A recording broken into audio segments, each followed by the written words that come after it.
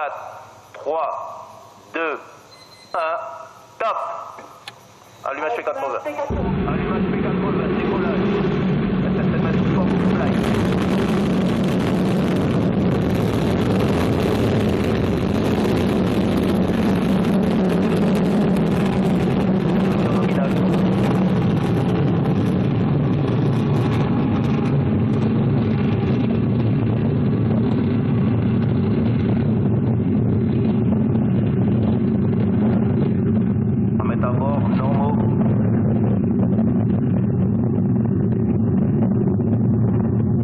And there we go. What a sight, Alexandra. Mais You've been working on these Vega launches for years. Yes.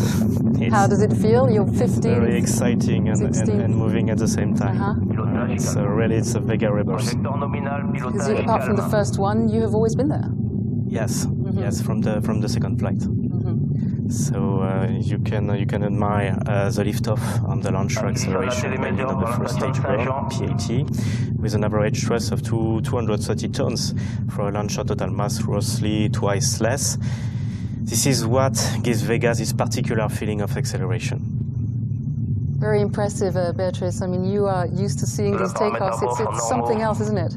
I used, used to, to see those takeoffs, but always inside the Jupiter, so never outside. So, but it's really very impressive to see any, anyway in the screen.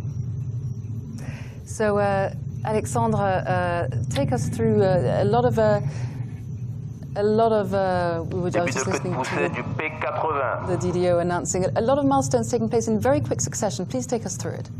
Yes, now it's the tail off of the first stage. It's confirmed by the DDO.